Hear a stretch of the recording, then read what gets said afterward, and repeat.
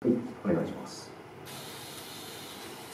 で、えーこれはですね、トラクションが本当に引きにくいという状態ですね。もう本当その場でスリップしてしまうというのが軟弱地では起こります。はい。で次に、溝付きの、えー凹凸ブロックとなどが読んでますが、この上でどのような動作なのかをご覧いただきたいと思います。はい、お願いします。例えばですね、まあ、このようにスタックしてしまって、そこから抜けてるのも物ならないということになりますし、仮にこのブロックの上だとしても、スリップが非常に起こりやすいということがわかります。はい。次に我々開発して